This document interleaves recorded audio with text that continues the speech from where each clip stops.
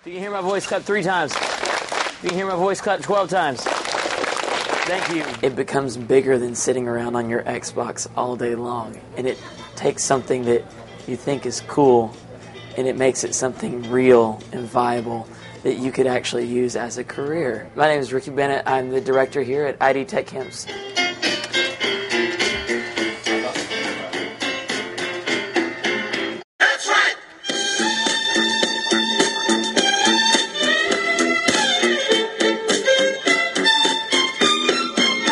A new course for us. It's iPhone application development.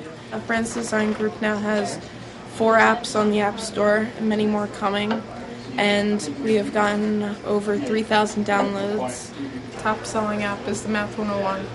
The first time we said talked about it was at our school assembly. People got really hooked on it We designed all the images ourselves. using Photoshop. How old are you guys? 13. 13.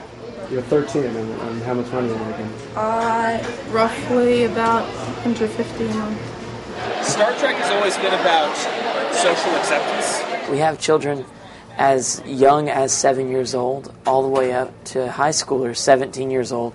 So the first couple of days, we walk them through, and all the kids develop an RSS reader or a soundboard. One of the clips.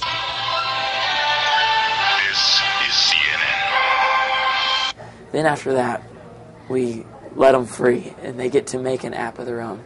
We've seen people make games. We've got a slingshot app being made this week. We have someone making a blackjack game, wardrobe organizers. We've seen a guy make a, a speedometer using the GPS in his phone. Just when you think that there's no room for new apps, kids are coming up with brilliant ideas, and they're able to create them here.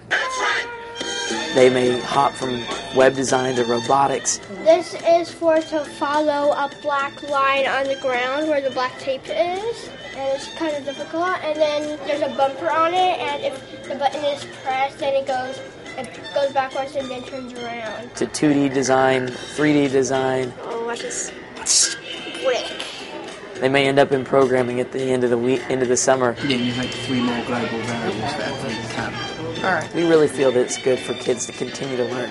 They shouldn't just take the summer off and forget everything they learned and not learn anything new. We think it's great for them. One of the things we make sure that we do, though, is we still have fun. All you do is you just roll around and beat the boss. Game over. Aw.